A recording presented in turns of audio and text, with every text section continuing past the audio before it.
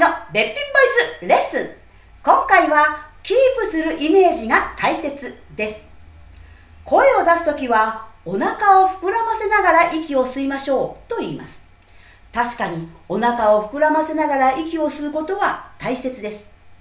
それでは息を吐くときつまり声を出す時のお腹の使い方はどうすればいいのでしょう？息を吸う時とは逆にお腹をへこませることを意識しますか？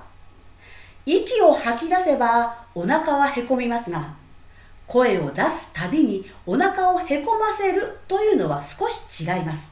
できるだけお腹の膨らみをキープするイメージで声を出しましょうあーあーコツは息を吸って膨らんだお腹をさらに大きくするように力を入れることです。